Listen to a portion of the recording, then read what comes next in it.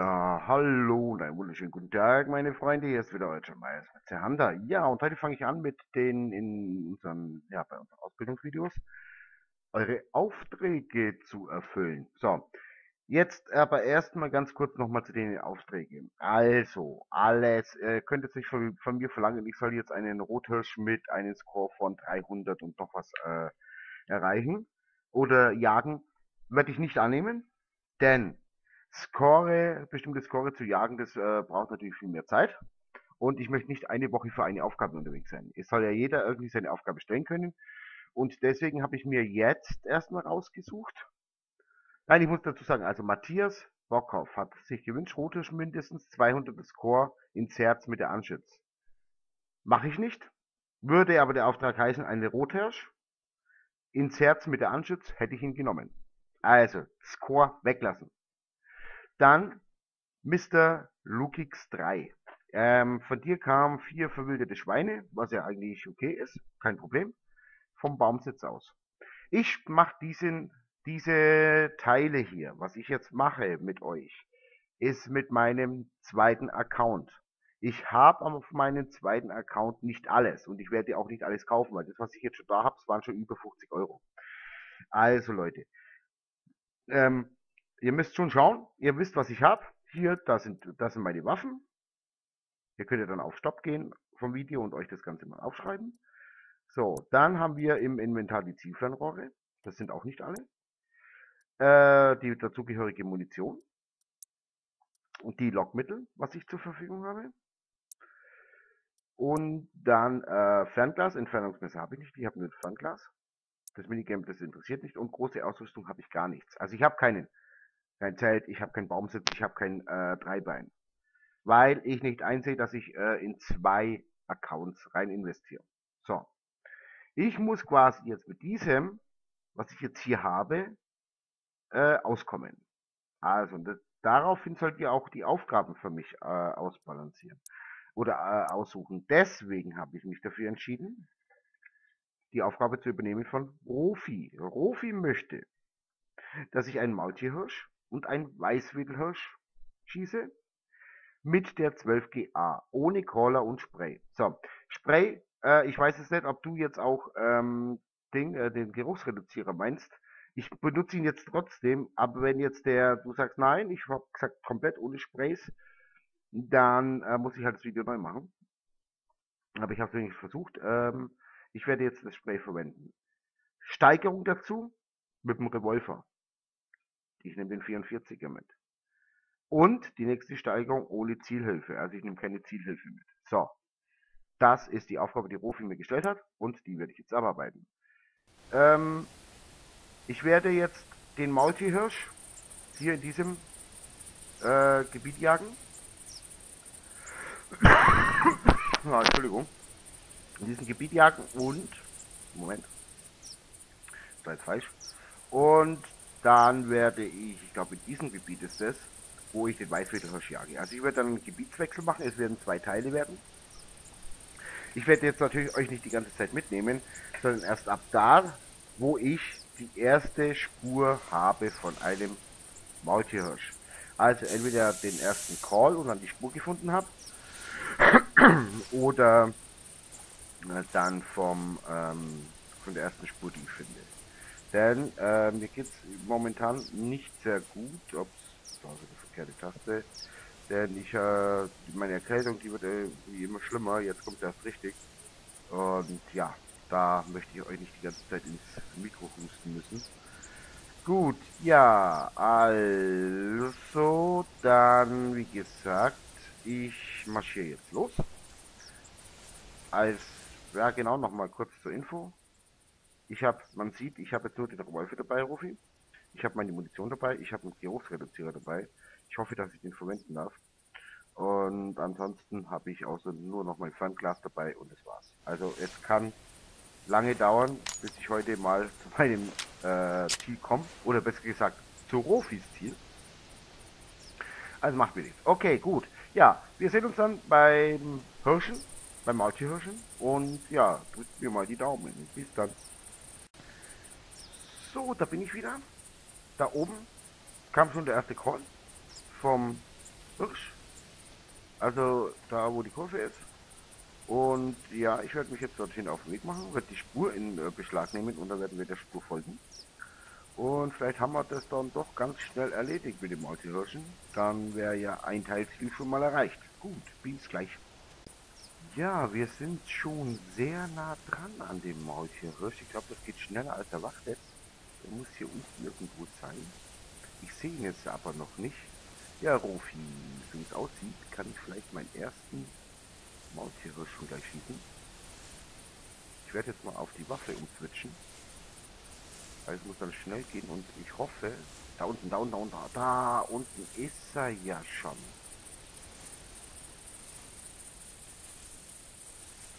Ja, ist es genial. Mal schauen, ob er irgendwas Besonderes hat. Merkmale oder so. Nein. Gut, er ist jetzt nicht besonders groß. Männlich, das ist schon mal ganz gut. So. Okay, dann wollen wir mal, oder? Der ist ja relativ... Entschuldigung, noch weit weg. Aber ich werde es dennoch versuchen. Und er liegt. Und er liegt. Und er liegt.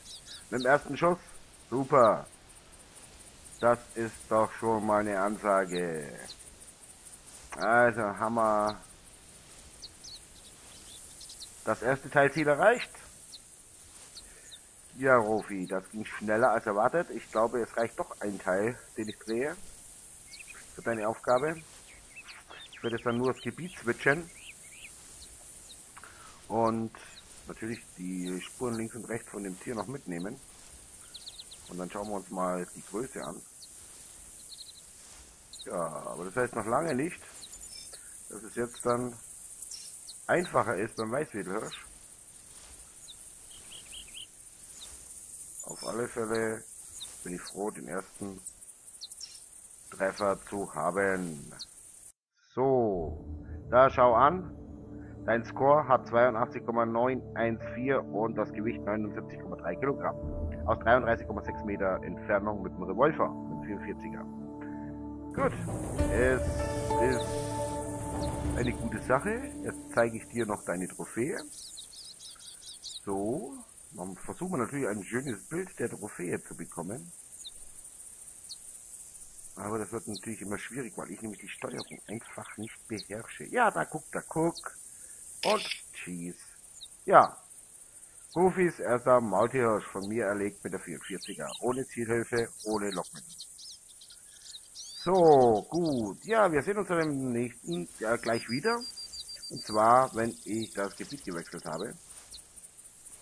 Obwohl, wir können eigentlich ja hier auch, es gibt ja hier auch die Weißhügelhirsche.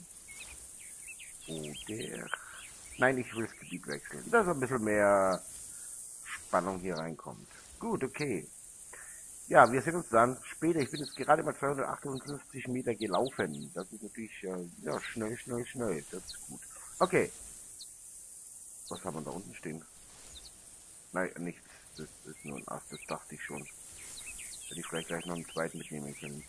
Gut, ja, ich werde auf alle Fälle, wenn sich irgendein anderes Tier vor meine Flinte schmeißt oder besser vor den 44er schmeißt, werde ich natürlich das mitnehmen. Soweit es mir zugelassen ist. Wenn ich dafür 44er darf ich eigentlich auf alles gehen. Wenn ich jetzt nochmal in meine Liste reinschaue, wo habe ich die genau? Außer natürlich Elch und auf Fasan. Genau. So, gut, okay, bis gleich. Ja, hallo und weiter geht's. Rufi, ich erledige jetzt deinen nächsten Auftrag. Und zwar den Weißwedelhirsch. Natürlich auch wieder mit dem 44er, ohne Caller, ohne den Urinsprays. Natürlich benutze ich aber meinen Geruchsreduzierer. Gut, Steigerung natürlich, Revolver, dass ihr das auch seht. Revolver ohne Zielhilfe, nur mit der normalen Munition und sonst habe ich nichts in der Tasche. Gut, dann gehe ich jetzt mal los. Und dann schauen wir mal, was sich so ergibt hier. Und wir machen es so wie vorhin, wenn sich etwas ergibt, seid ihr wieder dabei. Ansonsten sind wir einfach still. Bis gleich. Ach ja, noch ganz kurz, ich bin jetzt äh, Settler Greeks. Es kann passieren, dass mir ein Bär über den Weg läuft, den ich natürlich dann freudigerweise auch mitnehmen werde. Aber das werdet ihr dann schon sehen. Okay, wir sehen uns dann nachher wieder. So, die erste Spur habe ich aber von einem verwilderten Schwein, also nichts von einem Weißweddelhirsch. Aber wenn wir natürlich das verwilderte Schwein irgendwie antreffen, dann werden wir natürlich das mitnehmen. So, was haben wir hier? 30 Gramm Champignon. Gut, für die Soße haben wir auch schon unsere Zulage. Wer sorgt für die Knödel? Gut, okay, wir sehen uns dann später. Okay. Wir haben, oder ich sehe, oder ich habe den Call des ersten Weißweddelhirsches. Der ist ungefähr in dieser Richtung, da wo ich jetzt lang gehe. Ich werde da jetzt auch hingehen und nach einer Spur suchen. Diese Spur werde ich jetzt hier nicht mitnehmen, denn ich möchte jetzt diese Spur, die ich habe, den Call besser gesagt nicht äh, verwischen. Ja, ich bin gespannt, ob ich ihn schnell finde und schnell zum, zur Strecke bringe. Und ja, wir sehen uns dann gleich, sobald ich jetzt bei die Spur habe. Bis dann. Ja Leute, ich brauche gar nicht weit laufen. Da ist er schon. Schaut euch den an. Der Weißwedelhirsch. Ja, Weißwedelhirsch. Der ist jetzt zwar noch ein Stück weg. Ich werde jetzt gleich mal zu meiner Waffe greifen. Ja, Rufi, ich glaube, deine Aufgabe habe ich... Ups. Deine Aufgabe habe ich relativ schnell erledigt, so wie es ausschaut, und läuft sogar direkt auf mich zu. Der ist ganz ruhig. Ich verstecke mich jetzt wieder den Busch. Da kommt er.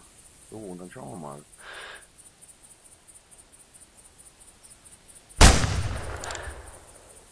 Ja, er liegt.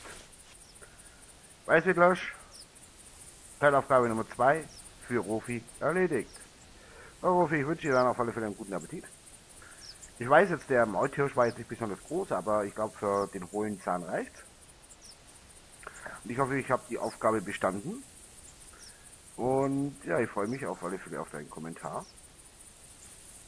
Und jetzt schauen wir langsam mal, was dort liegt. Ich bin sehr gespannt. Er scheint relativ klein zu sein. Also es gibt größere. Aber ich habe ihn. Und ich habe die Aufgabe rasend schnell erledigt. Das ist doch genial, oder? Weißwedelhirsch, 62,7 Kilogramm, der Score 56,888 auf 28,4 Meter in den Körper. Ja, die 44er, die stoppt halt alles.